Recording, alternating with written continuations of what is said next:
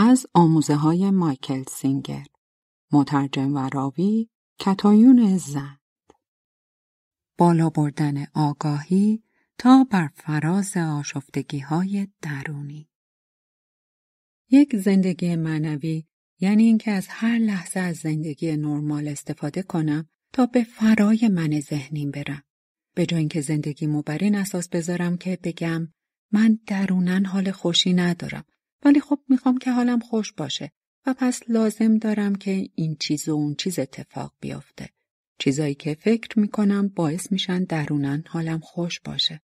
حالا سوال اینه که آیا می‌خوام به همین ترتیب زندگی کنم یعنی به این ترتیبی که دنبال اتفاقهایی باشم که فکر می‌کنم درونن حالمو خوش می‌کنن و یا اینکه بالاخره متوجه میشم که اون قسمتی از من که حالش خوش نیست هیچ وقت حالش خوب و اوکی نخواهد بود.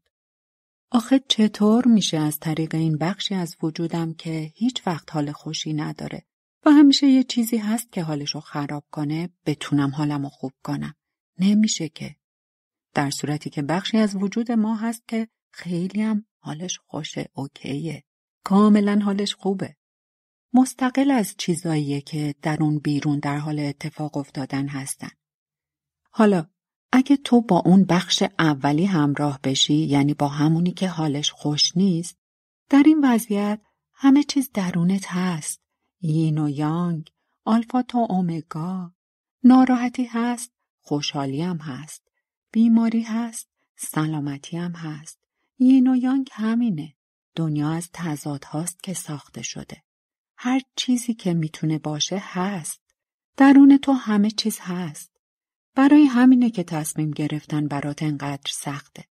درونت پر از چیزایی از قبیل اینکه من از فلان کس خوشم میاد، از اون یکی خوشم نمیاد. حتی از یک فرد به خصوص گاهی خوشم میاد و گاهی خوشم نمیاد. برای همینه که آدما برای زندگی در این دنیا انقدر درد سر دارن. اونا درک نمی‌کنن که همه چیز در درونشونه. همه چیز در درونته. مسئله اینجاست که آگاهی تو همزمان فقط می‌تونه به یک سری از چیزها هوشیار و آگاه باشه. مثلا اگر من الان به یکی از شما گوش بدم یا کامنت یکیتون رو بخونم نمی‌تونم همزمان به اون یکی دیگم گوش بدم یا همزمان کامنت یه نفر دیگر رو هم بخونم. حالا اگه من روی اون قسمتی از وجودم که افسرده است، اون قسمتی که احساس تنهایی می‌کنه و یا قسمتی که احساس حسادت می‌کنه تمرکز کنم اون وقت نمی‌تونم تصور کنم که قسمتی از وجودم هست که اینطوری نیست. چون دارم روی قسمتی تمرکز می‌کنم که اینطوریه. همه اینو داخل وجودتون دیدید مگه نه؟ مسئله این نیست که داری کار اشتباهی انجام میدی.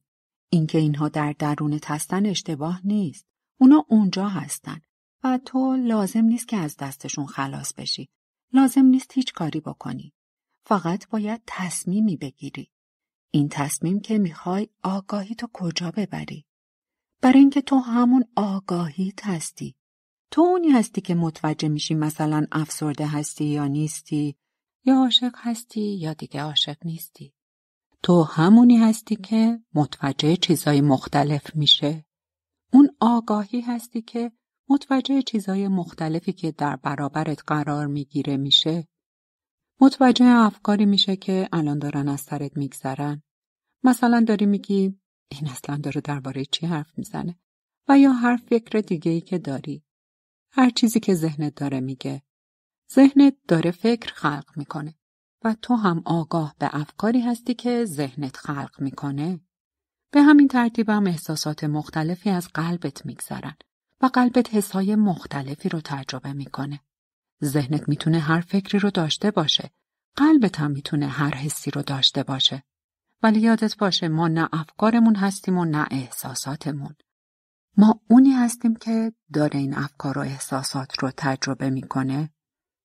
پس همونطور که داشتم می‌گفتم همه چیز این درون ماه. درست مثل مکانها و آدرسهای مختلف. مثلا یک جا آدرس افسردگیه یک جا آدرس چیز دیگه ایه. اونها جاهایی هستن که آگاهیت می‌تونه به اون آدرس بره و می‌تونم قسم بخورم که این آدرس ها همیشه یکسان و ثابتن. می‌دونی که می‌تونی دقیقا حسی مثل هشت سالگی داشته باشی. البته اگه چیزی درست اون حس رو مجددا برانگیخته بکنه و بگی اوه باورم نمیشه الان سال هاست اینطوری نشده بودم و این حس رو نداشتم. درسته. اون چیز هنوز اونجاست. مثلا هشت سالت بوده و یه اتفاقی افتاده و چیزی به اون درون رفته. و سالها بعد اتفاقی میفته و اون چیز هنوز اونجاست و این اتفاق می‌تونه برانگیختش کنه و اونو به سطح بیاره. اون درون یک جهان کامل وجود داره و تو می‌تونی در اونجا، در اون درون، هر جایی که بخوای به سر ببری.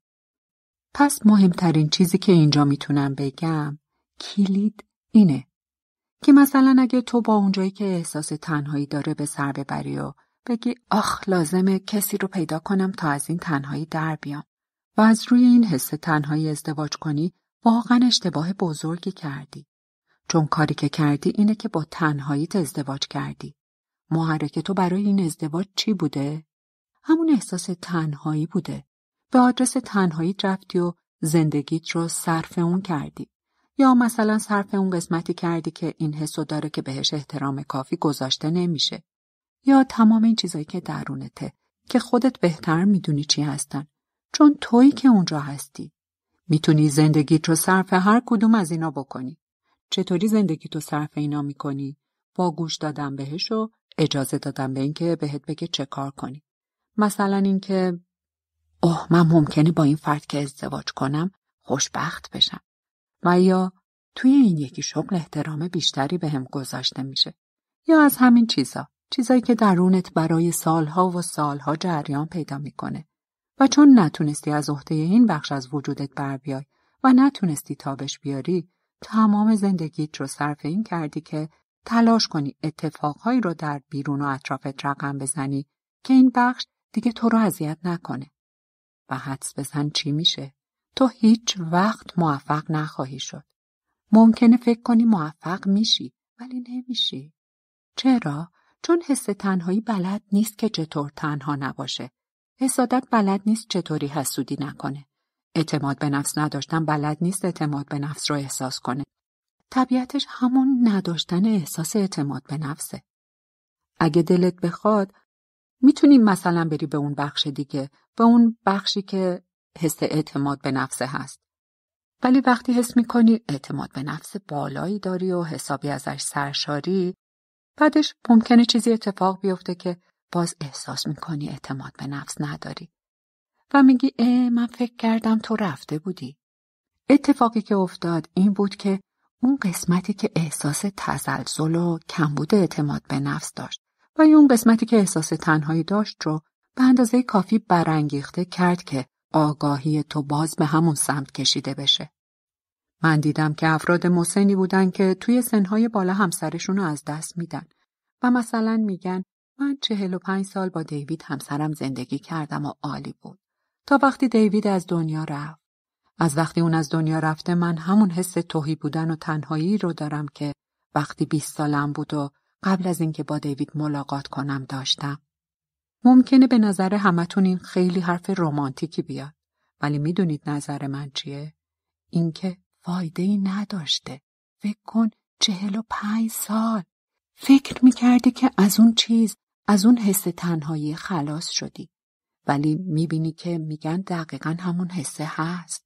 حس قبل از ملاقات با دیوید. البته که اینطوره. به خاطر اینکه از این زاویه و از روی همین حس بود که عمل کردی. تو روی اون حس به قول یوگاناندا یک چسب زخم گذاشتی. ازش رها نشدی بلکه فقط حواست ازش پرد شد. حالا دیگه آگاهی توجهت به اون نیست بلکه مثلا تو این مثال به اون ارتباطت هست. یا در هر مسئله دیگه‌ای به هر فرد یا هر چیز دیگه هست که به عنوان چسب زخم ازش استفاده کردی پس اگه تو به سراغ این حسا بری و زندگیت رو بر این اساس طراحی کنی که این حسها رو تجربه نکنی و ازشون فرار کنی تمام زندگیت رو باید صرف این کار بکنی و مثلا برای اینکه احساس امنیت و اعتماد به نفس بکنی هر کاری از دستت برمیاد رو انجام بدی و ممکنه مشکلی پیش بیاد که باز این حس رو نداشته باشی. همینه که گفته میشه خونت رو روی شن نساز. این بهترین تعریفه. این کار یعنی خونت رو روی شن، روی پایین ترین بخش وجودیت ساختی. البته که به نظر اینطوری نمیاد. به نظر میاد که داری میگی اوه نه من دارم زندگیمو درست می‌کنم و بهش سر و سامون میدم. نه اینطوری نیست. تو داری همراه پایین ترین بخش وجودت میشی و بعد زندگیت رو به همون اختصاص میدی. برام مهم نیست که چقدر خوب انجامش میدی. هر چقدرم ظاهرش خوب باشه. مثلا با یک نفر ملاقات و ازدواج می‌کنی که از اون حس تنهایی در بیای. صبر کن و ببین چقدر در مورد اون رابطه اعتماد به نفس داری. هر چقدر بیشتر نیاز داشته باشی اون حسه رو برطرف کنی اعتماد به نفس پایینتری خواهی داشت. احساس عدم امنیت بیشتری خواهی داشت. به محض اینکه دوباره حس تنهایی بیاد سراغت شروع می‌کنی به این فکر که آیا تصمیم درستی گرفتی و یا این فرد با این شرایط برات مناسب بوده یا نه و از این قبیل افکار. تو داری به بخش اشتباهی از وجودت رسیدگی و خدمت می‌کنی. حالا منظور این نیست که تو باید زندگیت رو در افسردگی یا تنهایی یا از اینجور مسائل بگذرونی و نباید هیچ کاری در موردش انجام بدی. من اینو نمیگم. البته که چیزی هست. کاری هست که بتونی در موردش انجام بدی. تو می‌تونی یاد بگیری آگاهیت رو از این بخش های پایین تر وجودت پس بکشی. نه اینکه از دستشون خلاص بشی. نه اینکه انکارشون کنی یا بهشون بیتوجهی کنی. بلکه هوشیاری و آگاهیت رو افزایش بدی. تمام یوگا، تمام معنویت در مورد توانایی تو برای گفتن این حرفه که بگی من اینجا هستم، در درونم و در زمینه های خاص و معینی خوب نیستم. لازمه که خودم رو در این زمینه ها بالا ببرم تا اینکه بتونم خوب باشم، خوب عمل کنم و با اون قسمتی که خوب نیست همراه نشم. تو می‌تونی این کار رو انجام بدی. یوگا و اصلا معنویت در همین مورده. در مورد بالا بردن آگاهید. خب پس حالا که به اصل و اساس پرداختیم و گفتیم که چیزهای مختلفی در درونت وجود داره و راه اینه که تو آگاهیت رو بالا و به فراز اونا ببری سوال این میشه که چطوری این کار رو انجام بدی خب دو راه برای انجام این کار وجود داره یعنی در واقع می‌تونی به سه نوع مختلف زندگی کنی یکی این که هیچ کار درونی انجام ندی و فقط تلاش کنی همونطور که گفتم اون قسمتی که درش گیر افتادی رو فقط چسب زخم بزنی. خواهش می‌کنم التماست می‌کنم این کارو نکن. این تلف کردن کامل زندگیه. اینکه اونجا بشینی و بگی من زندگیم رو به پایین ترین بخش وجودم اختصاص میدم.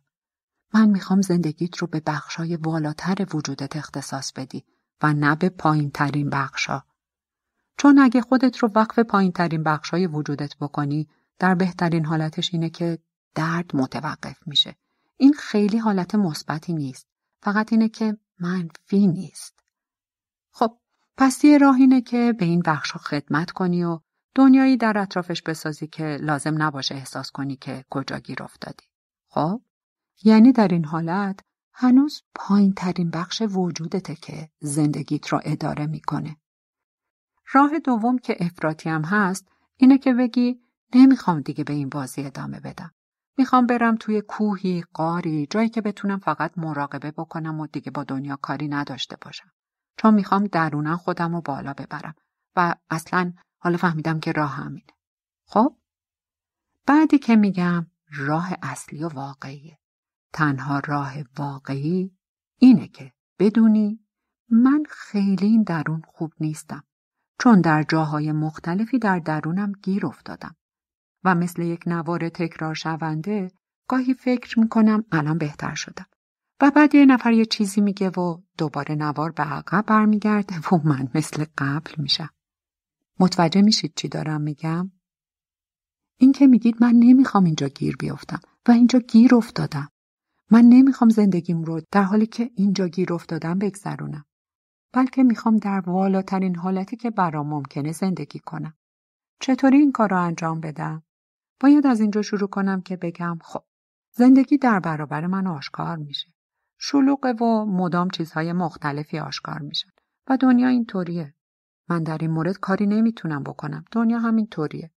به چپ نگاه کنم چیزی داره در برابرم آشکار میشه. به راست نگاه کنم چیز دیگه ای داره در برابرم آشکار میشه. دنیایی در اون بیرونه که همش داره کارهایی انجام میده و همش هم در حال تغییره. اتفاقایی که به تو ربطی ندارن و خودشون پیش میان و اتفاق میافتن. خب پس باید بگی زندگی در برابرم آشکار میشه و این باید برام اوکی باشه. من فرد سلامتی هستم و باید از عهده این واقعیت بر بیام. از عهده واقعیت بر بیام. بپذیرمش. بپذیرش. آیا می‌تونی واقعیت رو بپذیری؟ می‌دونم که نمی‌تونی. نمی‌تونی حرفی رو که از یکی شنیدی بپذیری یا لباسی که یکی دیگه پوشیده رو بپذیری اینکه موها چه شکلی شده یا هر چیزی که هست نمیپذیری برات عجیب غریبه مگه نه نیمی از شما نمی‌تونید بدون این حس عجیب و غریب توی آینه به خودتون نگاه کنید و وقتی نگاه می‌کنید حرفایی از این قبیل به خودتون می‌زنید. آه چقدر چاق شدم. ای با این جوشه رو ببین. یا اوه این چیز یا اون چیز. باور نکردنیه. خب پس به این نقطه می‌رسی که به خودت میگی اگر نتونم آنچه را که در برابرم آشکار میشه بپذیرم نمی‌تونم از زندگیم لذت ببرم. یعنی از این حالتی که مثل همه بودی و می‌گفتی من درونن حال خوشی ندارم و لازمه که زندگی به طرز معینی پیش بره که حالم بتونه خوش بشه. از اینجا از این حالت وضعیت تو تغییر میدی. تغییر به این که میگی واقعیت در حال آشکار شدن در برابرمه و همیشه اینطوری بوده و چندین میلیارد ساله که در جریانه و من باید از عهده این بخشی که دارم می‌بینم بر بیام و بتونم بپذیرمش. منظور این نیست که الان می‌تونی این کار رو انجام بدی. نگران نباش. الان داری برای خودت هدفی تعیین می‌کنی و اونم این که من باید بتونم این بخش کوچیکی از جهان هستی رو که داره در برابر من در زندگی من آشکار میشه بپذیرم. من همیشه میگم که اگه به نظرت سخت میاد خب چطوره که می‌تونی همه آنچه که در زندگی و در برابر تو نیست که آشکار میشه بپذیری؟ در هر خونه ای افراد دارن با هم صحبت می‌کنن. در هر گوشه ای از سیاره زمین چیزی در جریانه. مگه نه؟ هیچ کدوم از اونا که تو رو اذیت نمی‌کنه. اذیت می‌کنه. یا مثلا چیزایی که در کره مریخ یا کره ماه در جریانه. حتی ذره هم تو رو آزار نمیدن. پس فقط اون چیزی که در برابرته تو رو آزار میده. مگه نه؟ این داستان یه جورایی مشکوکه ها. با توجه به اینکه همش یکسانه. دنیا بر اساس نیروهایی پیش میره که باعث میشن چیزها به این ترتیبی که هستن باشن. همون نیروهایی که باعث شدن همه چیز به این ترتیبی باشن که الان در زندگی ما هستن دقیقا همون نیروهایی هستن که باعث میشن همه چیز در جاهای دیگه هم به همون ترتیبی باشن که هستن. مگه نه؟ ذرات بنیادی که از محدوده کوانتومی سر و کلشون پیدا میشه باعث وجود تک به تک چیزها میشن. خب؟ مهم اینه که باید درک و قبول کنی که آنچه در برابر تو هست با آنچه در برابرت نیست هیچ فرقی نداره. تنها فرقش اینه که این چیزیه که تو داری می‌بینی. حالا عمیقترین کاری که می‌تونی بکنی اینه که به خودت بگی من به این که این لحظه در برابرم در حال آشکار شدن احترام می‌ذارم و میپذیرمش و برام باعث افتخاره که دارم تجربهش می‌کنم. اگه نتونم بپذیرمش اینم خوبه. مرحله بعدیه چون اگه نمی‌تونم بپذیرمش یعنی اینکه من در این محدوده مشکلی دارم. دنیا همه جا در حال آشکار شدنه و هیچ دو نفری نیستن که با مسائل به نحو یکسانی برخورد داشته باشن. اون چیزی که تو رو آزار میده منو آزار نمیده و یا برعکس. اون چیزی که منو اذیت می‌کنه تو رو اذیت نمی‌کنه. خب این بهت چی میگه؟ میگه که اون مسئله اون چیز نیست که مشکله. بلکه مشکل از اون که در درون چیزی هست. چیزی که انبار کردی درون درون و با این مسئله داره آشفته میشه. پس یک فرد واقعا معنوی میگه من نمی‌خوام چیزی در درونم باشه که آشفته میشه. نمی‌خوام که در این قید باشم که بخوام دنیا رو کنترل کنم تا باعث آشفتگی من نشه. می‌خوام بتونم هر چیزی رو که در درونم در این جایی که هستم آشفته میشه رها کنم. این منم که متوجه این آشفتگی میشم و نمی‌خوام هیچ چیزی رو در درونم انبار کنم که می‌تونه آشفته بشه. هیچ چیزی هیچ وقت. من می‌خوام که تو اینطوری باشی. اون وقته که لازم نیست در مورد حتی یه چیزم نگران باشی. چطوری؟ با این کار که بخوای و اون قسمت هایی در درونت رو که مورد اصابت قرار می‌گیرن و باعث آشفتگی میشن رها کنی. با همراه اونا نشدن، با زندگیت رو صرف اونا نکردن. با این کار که بشینی و بگی بله. تو رفتی و با یکی دیگه رقصیدی که باعث شد من احساس حسودی بکنم. این درس امروز منه که یاد بگیرم چطوری با این واقعیت راحت باشم که کسی بیرون از من کاری کرده که باعث شده این قسمت در درون من برانگیخته بشه. می‌بینی که دارم راجع به مسائل خیلی شخصی صحبت می‌کنم. پس تو یا می‌تونی این انتخابو بکنی که بری سر طرف و بکوبی به دیوار یعنی مثلا حسابی دعواش کنی که بری بهش بگی چطور جرأت می‌کنی با یکی دیگه برقصی و از این حرفا یک داستان و ملودرامای بزرگ درست کنی و یا اینکه در این وضعیت انتخاب کنی که به خودت بگی حالا زمان رشد معنویه. این رشد معنوی واقعیه.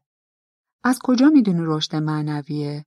چون متوجه میشی و میگی که خب قسمتی غیر معنوی از وجود من شروع به درست کردن دردسر برام کرد.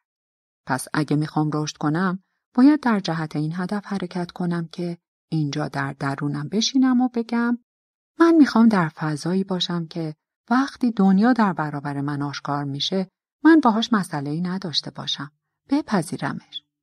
حالا بعدا در این مورد صحبت می‌کنیم که چه کنیم. حرفی نیستش که کاری نکنی. بلکه الان صحبت بر سر اینه که اگه تو نتونی از عهده آنچه در درونت به خاطر چیزی که در بیرون اتفاق افتاده در جریان بر بیای تو نمی‌تونی به اون اتفاق بیرونی رسیدگی کنی. تنها کاری که می‌تونی انجام بدی اینه که تلاش کنی خودتو آروم کنی تا عجیب غریب رفتار نکنی. و از اون لحظه به بعد هر کاری که انجام بدی اصلا ربطی به اون اتفاق بیرونی نداره. بلکه ربط به جریانات درونیت داره. چون تو چیزایی خواهی گفت و رفتارهایی خواهی کرد که باعث بشه تو درونن احساس بهتری داشته باشی. در این وضعیت تو در حال تعامل با شرایط بیرونی نیستی. متوجه تفاوتش میشی؟ تو در واقع با عکس عمل ناخوشایندی که درونت ایجاد شده است که داری تعامل می‌کنی. چون تو خوشت نمیاد احساس ناخوشایندی داشته باشی یا ناراحت باشی. پس یعنی تو به اون مسئله بیرونی رسیدگی نمی کنی. چون در تلاش برای درست کردن و رسیدگی با آشفتگی درونی و حالت هست که کارایی رو انجام میدی یا انجام نمیدی یا چیزایی رو میگی یا نمیگی. پس معنویت اینه که اگه قرار من به اتفاقهایی که روبروم در زندگی آشکار میشن رسیدگی کنم باید بتونم به اونها رسیدگی کنم نه اینکه به جریان درونی یا عکس عملهای ناشی از اونها رسیدگی کنم و این استانداردیه که برای خودت ست می‌کنی اگه درونم این آتاشقالها این آشفتگی ها در جریان باشه من این کارش نمی کنم که هست هستش تجربهش می‌کنم بهش آگاه هستم و هر کاری از دستم برمیاد انجام میدم تا رهاش کنم. و حالا متوجه میشی که چرا این معنویتی عمیقه. می‌پرسی خب چه کار می‌تونم بکنم؟ جواب همونیه که گفتم. فقط رهاش کن. می‌پرسی منظورت چیه؟ میگم که زندگی در جریانه. اتفاقی میافته. کسی چیزی میگه یا نمیگه. کسی بهت زنگ می‌زنه یا بهت زنگ نمی‌زنه. هر چیزی که هست. یکی 15 دقیقه دیرتر از قولش زنگ می‌زنه یا سر قرارش میاد. یا وقتی می‌خوای بری جایی یا بیرون کاری داری به شدت بارون میاد یا عجله داری و ترافیک سنگینه یا ماشین جلویت خیلی آهسته میره بالاخره همیشه یه چیزی هست مگه نه یعنی وقتی زندگی در جریان و دنیا به درونت میاد همیشه یه چیزی هست که برات خیلی خوب نشینه توی وجودت و جا نیفته و باعث آشفته شدنت بشه. کار معنوی یعنی اینکه اونجا بشینی و بگی من نمی‌خوام در درونم اینو داشته باشم. این چیزی رو که باعث اون نوع عکس ها میشه. دلیلی برای بودنش نیست. درسته من الان عجله دارم و یکی جلوی من خیلی آهسته داره رانندگی می‌کنه. اگه فضا و موقعیت سبقت باشه که خب این کار رو انجام میدم. ولی اگه نباشه به اون لحظه ای که درش هستم احترام می‌ذارم و مفتخرم که دارم چنین تجربه ای رو از سر میگذرونم و باهاش تفریح می‌کنم. اگه مثلا در مسیر از ریل راه آهن میگذری و همون وقتم قطاری داره عبور می‌کنه و باید صبر کنی عصبانیتت به هیچ دردی نمی‌خوره که ای وای حالا کی رد بشم؟ چقدر ماشین جلومه؟ چقدر طول می‌کشه؟ دیرم شده الان دیرتر می‌رسم. تا حالا قطاری به این درازی ندیده بودم. داری چه کار می‌کنی؟ اون صداه داره تو رو براشفته می‌کنه. احمقانه از خودت رو. بابت چیزی که نمی‌تونی کاری در موردش انجام بدی ناراحت کنی. چرا بجاش با این وضعیت مثل یک بچه تفریح نمی‌کنی؟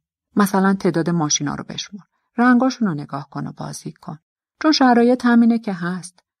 می‌بینی چقدر اتفاقهای مختلف ممکنه بیفتن که تحت کنترل تو نیستن و تو خودت رو حسابی بابتشون اذیت می‌کنی. تنها کاری که باید انجام بدی اینه که دست از همین کار بکشی و به این ترتیب کل زندگی تغییر می‌کنه. تو داری خودتو تغییر میدی. خودت رو تغییر بده. کار به بقیه افراد و چیزای دیگه نداشته باش و نگران اونا نباش. پس تو شروع به کار کردن روی خودت می‌کنی تا بتونی جهانی رو که در پیش چشمانه در حال آشکار شدنه بپذیری و بهش احترام بذاری و باعث افتخارت باشه که داری تجربهش می‌کنی و می‌بینی که اگر بخوای می‌تونی این کار رو انجام بدی. تو خودت رو صعود میدی. پس تا میای راجع به چیزی شکایت کنی و قلبت داره منقبض میشه مثلا در مورد اون راننده که جلوی تو آروم رانندگی می‌کرد نگاه می‌کنی به درونت آگاه میشی به درونت. اینکه قلبت داره منقبض میشه چون این کار خودته. کار اون راننده نیست. اون اصلا حتی تو رو نمی‌شناسه. خودتی که داری باعث آشفتگی خودت میشی. پس تو یاد می‌گیری مچ خودت رو در این حالت بگیری و بعد آگاهیت رو ببری بالاتر. می‌تونی از تکنیک که دوست داری استفاده کنی. مثلا از عبارت تأکیدی استفاده کنی. با چیزایی که خارج از کنترلت هستن تفریح کن. اونا که در حال تخریب تو نیستن. چیز خاصی در حال اتفاق افتادن نیست. پس چرا داری با خودت این کارو می‌کنی؟ متوجه میشی این کاری که داری الان انجام میدی؟ این کاری که داری با خودت می‌کنی معنوی نیست. خلق همه این آشوب و اختشاش ها در درونت به خاطر یه چیزی که بیرون در حال اتفاق افتادنه کاری معنوی نیست. کار بیمعنیه. پس تو شروع کن به کار کردن با خودت. درست همونطور که وقتی تصمیم می‌گیری مثلا سیگار رو ترک کنی و یا رژیم غذایی سلامتی داشته باشی. چرا این کار رو می‌کنی؟ چون حس بهتری داره. پس به همین ترتیبم با درونت کار کن. نمیگم چطوری. خودت راهش رو پیدا می‌کنی. درست همونطور که مثلا تمرین ورزشی می‌کنی. هر روز پیاده روی می‌کنی یا میدوی. چرا؟ چون بهت حس بهتری میده و داری مراقبت بهتری از بدن فیزیکیت می‌کنی. خب پس در مورد وضعیت درونیت چی؟ چرا مایل نیستی که در مورد وضعیت درونیت هم کار کنی تا حس بهتری داشته باشی؟ چون وقتی اونجا در درونت داری این کارا رو با خودت انجام میدی، همین کارایی که الان داری انجام میدی، در واقع داری خودتو مریض می‌کنی. زندگی شادی نخواهی داشت. پس دوباره میگم بخشایی از تو در درونت هستن که انواع اقسام کارا رو انجام میدن. تو یاد بگیر که خودت رو به بالا و برفراز اون قسمت ها ببری. اینکه چطوری این کار رو انجام بدی خودت راهش رو پیدا می‌کنی. انواع و اقسام تکنیکا هستن. من تکنیک آموزش نمیدم. همه جا هستن و خیلی چیزا هستن که می‌تونن کمکت کنن. مثل مراقبه یا یوگا، عبارتهای تأکیدی هر چیزی که بهت در این راه کمک کنه که می‌دونی که می‌تونی کلی از این چیزها این ور اونور پیدا کنی.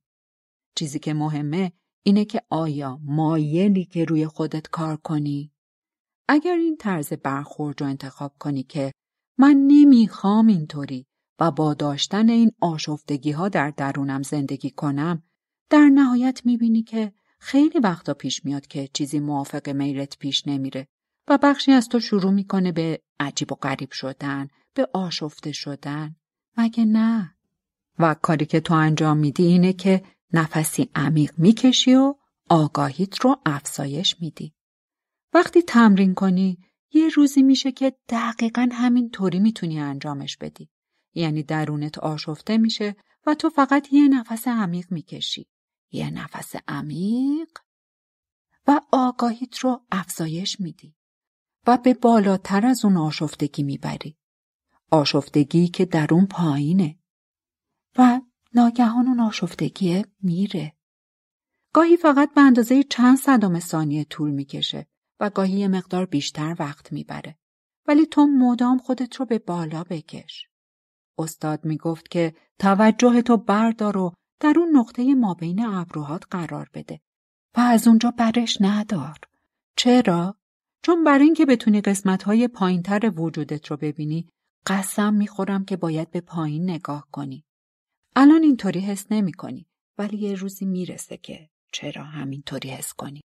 اگه روی این مسئله کار کنی مثلا از ابزار مراقبه استفاده کنی متوجه میشی که داری از اون جایی که در درونت نشستی سطح آگاهیت رو بالاتر از این چیزها می‌بری و اینا پایین تر از اون جایی هستن که تو در درونت نشستی. من اگه نخوام مثلا این چیزی که جلومه ببینم رو تنها کاری که باید انجام بدم اینه که بالا رو نگاه کنم. درونم همینطوره. اگه نمی‌خوای این چیزهای سطح پایینتری که در جریان هستند رو ببینی نه اینکه اونا رو سرکوب کنی. سرکوب به این معنیه که من نمی‌خوام اینا اینجا باشن. پس اونها رو به پایینترها حل میدم. اینطوری یعنی بیشتر همراهشون هستی. این کار خوبی نیست.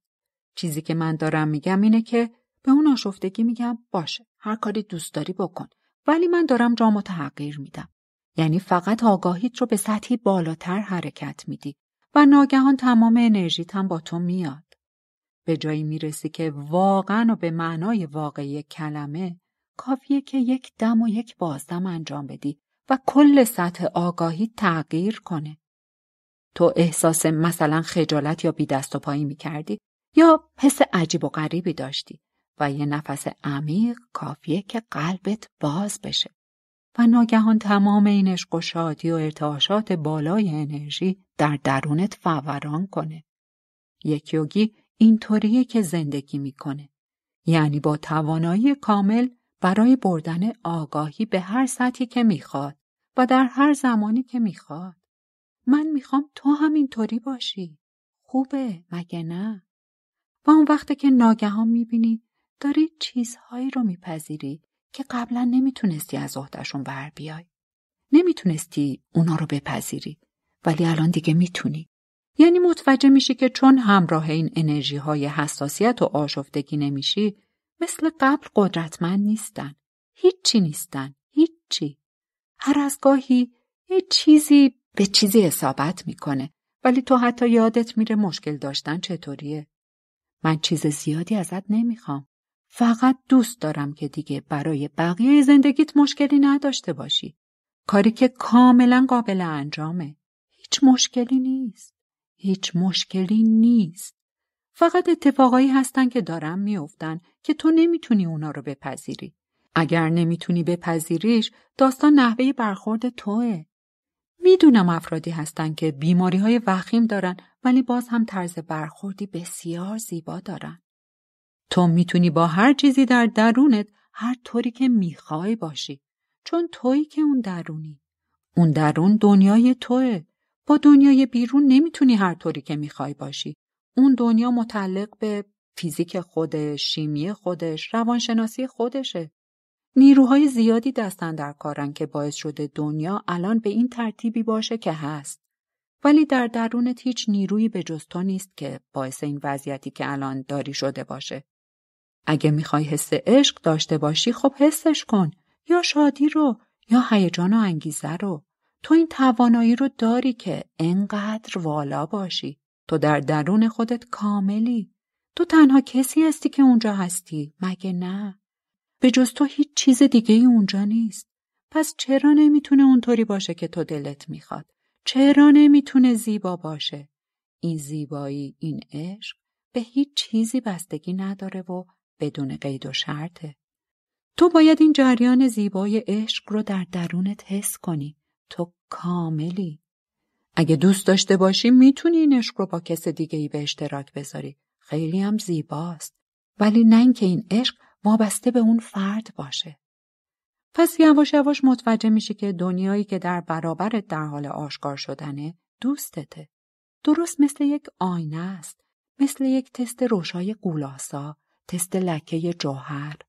هر چیزی که در برابرت آشکار میشه در واقع هیچ ربطی به تو نداره. بلکه ربط به جهان هستی داره. ربط به قوانینی داره که باعث میشه چیزها به این ترتیبی که هستن باشن. تو فقط در اون لحظه در اونجا حضور داری و بهش نگاه می‌کنی. پس درست مثل تست لکه جوهره و به تو هم هیچ ربطی نداره. ولی تو افکار تو به اون فرافکنی می‌کنی. دنیا دقیقا همینطوره. میاد و آشکار میشه و بعد به اون چیزایی که درونت اصابت می‌کنه که اون وقت تو نمی‌تونی با مسائل درست تعامل کنی. پس هدف زندگیت هر لحظه از زندگیت باید این بشه که دنیا آزاده که آشکار بشه. و تو میگی خیلی خوب. من دارم رشد می‌کنم و اجازه میدم که واقعیت همونی که هست باشه. اونو میپذیرم. و اگه به درونم بیاد و به هیچی برخورد نکنه که چه بهتر؟ و اگر هم به چیزی در درونم برخورد کنه باز هم چه بهتر؟ چون من اون چیزی رو که بهش اصابت کرده رها و آزاد می‌کنم. خب حالا می‌بینی که دیگه مشکلی نیست. چون هر اتفاقی به هر چیزی در درونم اصابت و آشفتش کنه من اونو نمی‌خوام. پس از این فرصت استفاده می‌کنم تا اون رو رها و آزاد کنم. تا در درونم نگهش ندارم و رها و آزادش کنم. اون چیزی که حساس و آشفته شده اون آشفتگی رو من لازم نیست برم اونجا تا ببینم داستانش چیه و دنبال آشفتگی ها بگردم. خودشون میان چیزایی پیش میان. مثلا یکی چیزی میگه یا چیزی رو نمیگه یا اتفاقی میفته و ناگهان این آشفتگی ها شروع می‌کنن به سطح اومدن و برای تو اینطوریه که چه خوب که دارم میان و دیگه اینطوریه که زندگی می‌کنی و واقعا می‌تونی کل زندگیت رو به همین ترتیب سپری کنی. هر لحظه از زندگی خود به خود کامله و داره در برابرت آشکار میشه. و اگر چیزی بود که با آشفتگیهات برخورد نکرد که چه زیبا. ازش لذت ببر و باهاش تعامل کن. و اگر هم چیزی پیش اومد که به آشفتگیهات برخورد کرد که معمولا هم پیش میاد از اون به عنوان فرصتی استفاده کن تا آنچه را که در درونت مورد اصابت قرار داده رها کنی. و این تمام راهه. پاکسازی. رها کردن تمام اون آتاشقال هایی که درونت انبار کردی. پس حالا متوجه شدی که نباید بری دنبال چیزی بگردی.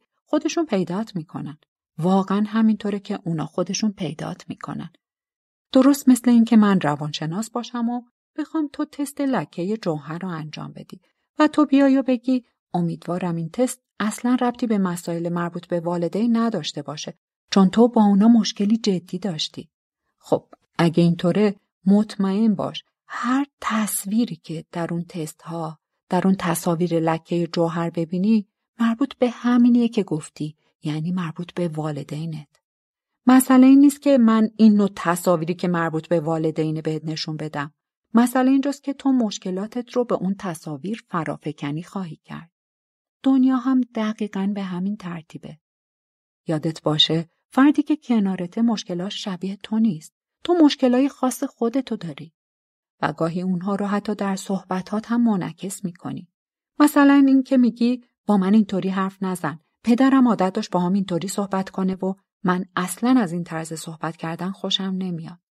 خب این فرد پدرت نیست که و داره مدل خودش حرف می‌زنه ولی تو به خاطر اون آشفتگی که در درونت داری لحظه ای به نظر اومد لحن اون فرد یا حتی مثلا لحجه شبیه پدری شده که باهاش مشکل داشتی. برای همین این صحبت ها به اون آشفتگیات برخورد کرد و جایی می‌رسه که میگی من اینا رو در درونم نمی‌خوام. دنیا هم دوستته و میاد و اتفاقهایی باهاش میاد که بالاخره با این آشفتگی ها برخورد می‌کنه. و تو چطور؟ تو چه کار می‌کنی؟ آیا اون آشفتگی رو که به سطح اومده رها می‌کنی؟ حالا که داری میگی این چیزیه که می‌خوام آیا این کار رو انجام میدی؟ رهاش می‌کنی و میگی که این چیزیه که می‌خوام می‌خوام که توهی باشم و کامل خالی باشم و کامل متوجه باش که توهی و کامل هر دو یکی هستن خالی از آتاشقالهای درونی یعنی درونن کاملی بالاخره متوجه میشی اون چیزایی که نمی‌تونستی بپذیری و اونا رو در خود تبس کردی جریان زیبای انرژی رو بند آوردن. اون جریانی که اسمش رو هرچی می‌خوای می‌تونی بذاری. مثلا انرژی معنوی یا شاکتی یا چی یا روح و جان اگر این انصدادها رو برطرف کنی تمام مدت این انرژی در درونت میجوشه و جریان پیدا می‌کنه. سرشار از احساس شادی میشی. از احساس انگیزه و هیجان در هر کاری که انجام میدی. تنها چیزی که باعث میشه الان اینطوری نباشی انصدادهات هستن. حالا به اینجا رسیدی که میگی باشه من حاضرم این کار را انجام بدم و زندگیم رو صرف این مسئله بکنم. زندگی جریان داره و چیزی پیش میاد که به انصدادی برخورد می‌کنه. وقتی اینطوری میشه و درونم حس ناخوشایند و ناراحتی دارم چه بکنم؟ آسونه که بهت بگم رهاش کن. ولی خب می‌خوای بدونی منظور از این حرف چیه؟ منظور از این که گفته میشه رهاش کن چیه؟ آسون ترین راه برای توضیحش اینه که بگم در موردش هیچ کاری نکن. خب اینو خوب متوجه میشی. در موردش هیچ کار نکن. مثلا به خودت میگی چی باید بگم که باعث بشه حالم بهتر بشه؟ یا با کی در موردش حرف بزنم؟ با کی در موردش درد دل کنم که دردش کمتر بشه؟ کیا سرزنش کنم؟ باید چه فکری بکنم؟ چه فکری که بتونه این مسئله رو منطقی جلوه بده؟ تمام این کارهایی که انجام میدی فقط تلاشی هستند تا دنیای بیرونی و درونیت رو به طریقی تنظیم کنه. به جای اینکه فقط رهاش کنی. اگر من مثلا احساس ناامنی بکنم و شروع کنم به خودم گفتن که نه اون واقعا عاشق منه. خودش گفت. الان فقط خودمم که فکر می‌کنم دوستم نداره. حالا مطمئنم که به هم ثابت میشه که اشتباه می‌کنم. خودم به خودم ثابت می‌کنم که اشتباه می‌کنم که دوستم نداره و امشب که بیاد خونه پر از عشق به منه حالا می‌بینی. خب این تفکر مثبتیه. دیدی چه کار کردی؟ تو اون حس ناامنی رو نگه داشتی. یه محیطی در درونت خلق کردی که این احساس ناامنی حالش خوب بشه. حالا اگه اون فرد شب بیاد خونه و دقیقا اونطوری که تو انتظار داشتی رفتار نکنه طوفانی به پا میشه. مثلا با عصبانیت میگی تو گفتی که عاشقمی. اگر همون فرد مثلا بگه من نمی‌دونستم حالت اینطوریه. تو میگی چرا نمی‌دونستی؟ پس معلومه عاشقم نیستی. اگه عاشقم بودی دقیقا می‌دونستی حالم چطوریه. این همون آشفتگی های درونته که دارن برای این حق که وجود داشته باشن سعی می‌کنن منطق سازی بکنن. سرزنش کردن، خجالت کشیدن، همه این چیزا همش همینه. والاترین وجود این کار را انجام میده که میگه در دنیا اتفاقی پیش اومده که اگر به آشفتگی در درون من برخورد کرده برای اینه که آشفتگی در درون من هست. تنها کاری که باید انجام بدم اینه که خودم رو ریلکس کنم. ریلکس کردن این تنها کاریه که باید انجام بدی. تویی که درون درونی. تو خودت رو ریلکس کن. میگی ولی اون اون چیز اون آشفتگی ریلکس نمیشه. منم که نگفتم اونو ریلکس کن اون ریلکس بشه. و قبلا هم گفتم که اصلا نمی‌دونه چطوری باید ریلکس باشه. انرژی حسادت یعنی حسودی کردن. احساس ناامنی هم یعنی حس ناامنی کردن. تو باید بخوای. علی رغم اون چیزی که درونت در جریانه در مواجه شدن با اون خودت رو ریلکس کنی و دارم بهت میگم این تنها کاریه که باید انجام بدی. اگر مایل باشی تا بگی باشه. اینا آشفتگی های من هستن که مورد اصابت قرار گرفتن و من اونها رو اینجا در درون خودم نمی‌خوام پس خودت رو ریلکس کن و به این ترتیب بهش فضایی برای آزاد شدن دادی. همش همینه. لازم نیست دنبال چیزی بگردی، چیزی رو پیدا کنی و یا چیزی رو تغییر بدی. تو باید بخوای که رهاش کنی. حالا منظورم از رها کردن فهمیدی؟ منظور این که هیچ کاری انجام نمیدم که نگهش دارم. یعنی اگه کاری برای نگه داشتنش انجام ندی، داری رهاش می‌کنی. مگه نه؟ ولی تو همیشه داری کاری انجام میدی که نگهش داری. مثلا سعی می‌کنی که به یه طرف دیگه هلش بدی. کسی رو سرزنش می‌کنی. سعی می‌کنی مثلا ازت معذرت بخوان و میگی که بگو معذرت می‌خوام. می‌دونی که چقدر ناراحتم کردی. بگو که متاسفی. به عبارت دیگه یعنی این چیزا رو دارم در درونم نگه میدارم این آشفتگی ها رو. و سعی می‌کنم به نوعی نگه داشتنشون رو راحت تر کنم. هر کدوم از اون کارهایی که داری می‌کنی اون کارهایی که گفتم دنبال معذرت خواهی هستی یا در حال سرزنش هستی یا هر کار دیگه که می‌کنی یعنی داری این آشفتگی ها رو نگه میداری و در این حال می‌خوای احساس راحتی هم بکنی. ولی تو نمی‌خوای با نگه داشتن آشفتگیات راحت باشی و احساس راحتی بکنی بلکه می‌خوای که اونا رو رها کنی. قول میدم که اون چیزا رو در درونت نمی‌خوای. تو وجودی بسیار بسیار والا هستی. خودت هم نمی‌دونی چقدر والا هستی. ولی چون الان پایه وجودتو بر اساس این آتاشقالا گذاشتی باید بجنگی و بترسی و همه این مزخرفات و کارایی که داری انجام میدی. در صورتی که تو می‌تونی بدون ترس زندگی کنی. در مورد هر روزی که شروع میشه پر از هیجان و انگیزه و کنجکاوی باشی. حالا رها کردن هم آسونترین و هم مشکلترین کاریه که در زندگیت انجام میدی. آسونترینه چون قراره که کاری انجام ندی و در واقع همون بیعملیه. همون بیعملی که زن آموزش میده. بیعملی. پس یعنی اگر بخوای و اون چیز رو اون آشفتگی رو آزاد و رها کنی میگذره. چرا میگذره؟ چون تو بودی که اونو داخل در درونت نگهش داشته بودی. نمی‌خواستی تجربهش کنی. پس همش به پایین هلش می‌دادی. اگر به پایین هلش ندی به تدریج آزاد میشه. همون اولین بارم آزاد نمیشه. وقتی تو مشکلی ها در درونت داری و مورد اصابت قرار می‌گیره تو مقداری خودتو ریلکس می‌کنی و مقداری از اون آزاد میشه. دفعه بعد باز هم همینطور و دفعه بعدی باز هم همین کارو می‌کنی تا در نهایت دیگه کلا میره. من عاشق اینم که آدما میان و میگن اوه من این چیزو داشتم این مسئله رو و وضعیت هایی که خیلی برام پیش میومد و منم عادت داشتم به صورتی مشابه عکس نشون بدم.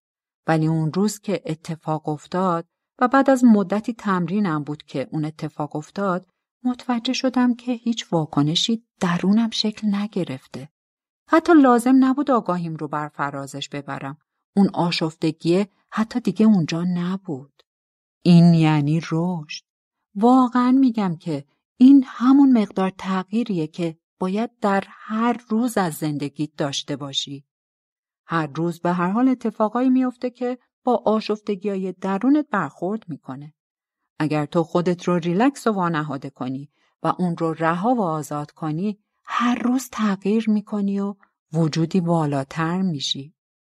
پس با ریلکس و رها کردن داری میگی که آره می‌دونم که اونجا هستی ولی لازم نیست که من بیام سراغ تو و نمی‌تونی توجهمو به خودت جلب کنی.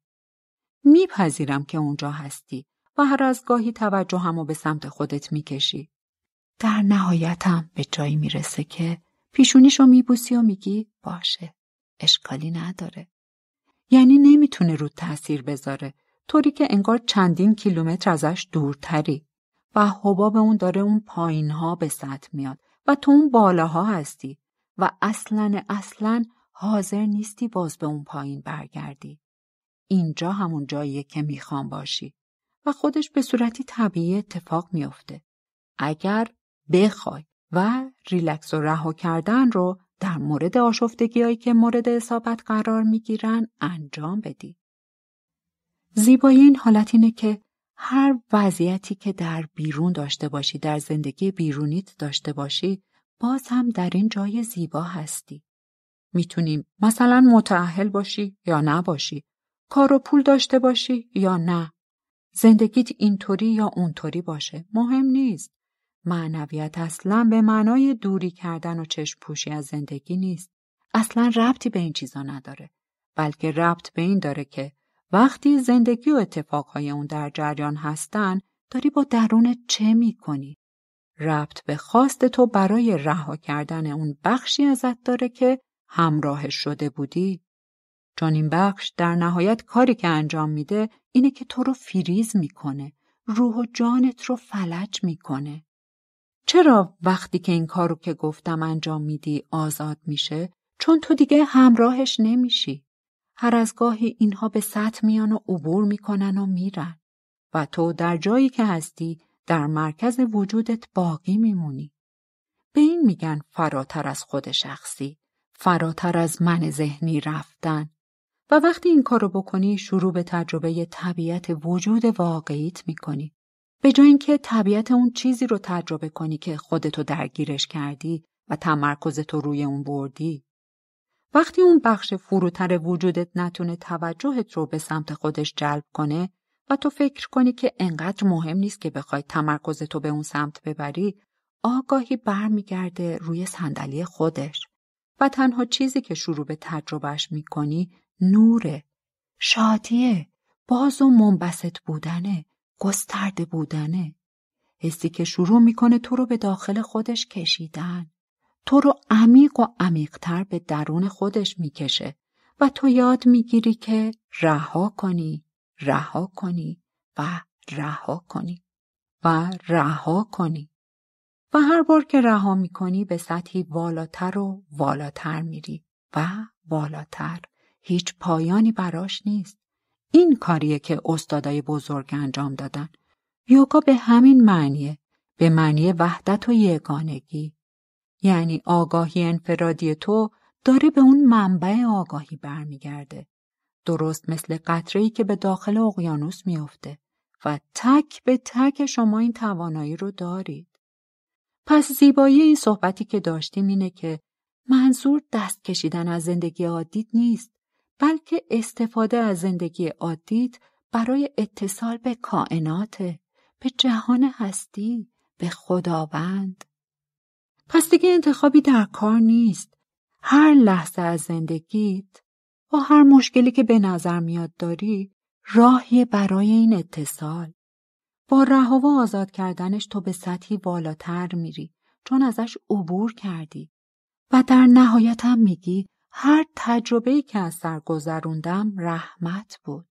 هر چیزی که از سر گذروندم درست مثل این بود که دقیقا طراحی شده بود تا من رو به فرای خودم ببره و حق هم با توه. چون جریان زندگی به ترتیبی برات آشکار میشه تا اون چیزی رو که لازم داری مورد اصابت قرار بده. آنچه که در خودم بار کردی و اونجاست مورد اصابت قرار بده. و وقتی تو رها و آزادش می‌کنی باز چیزای دیگه خواهند بود و اونها رو هم رها و آزاد می‌کنی و باز بعدی و این راه توه. پس خواهش می‌کنم روی اینها کار کن. من دوست دارم ببینم همیشه نور وجودت در حال درخشیدنه.